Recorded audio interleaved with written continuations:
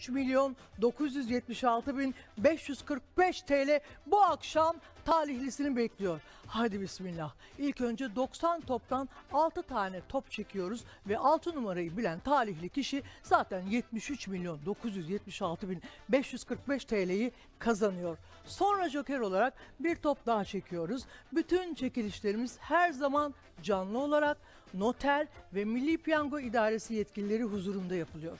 Çekilişe başlamadan önce noter huzurunda toplar tartılıyor ve gerekli kontroller yapılıyor. Çekilişler Dünya Piyango Birliği onaylı son teknoloji makinalarda şeffaf bir şekilde ve el değmeden gerçekleşiyor. Akşamlar Türkiye.